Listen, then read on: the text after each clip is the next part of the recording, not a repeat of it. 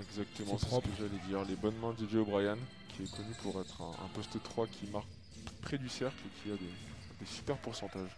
Et la San Chroma lui aussi dans son registre en pénétration. Ils jouent vite, ils jouent vite et euh, ils font des stops et encore un tir ouvert pour Chroma. Oh là là, Chroma qui enchaîne et qui relègue Monaco euh, déjà. Très bon tir. Et les bonnes mains de Chroma.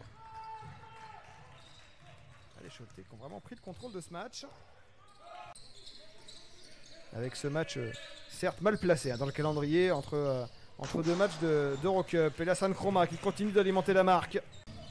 Chroma, Oh là là, oh, l'énorme cross pour aller oh conclure là, près du quelle action, cercle. quelle action. Peut-être l'action du match là pour la San Chroma.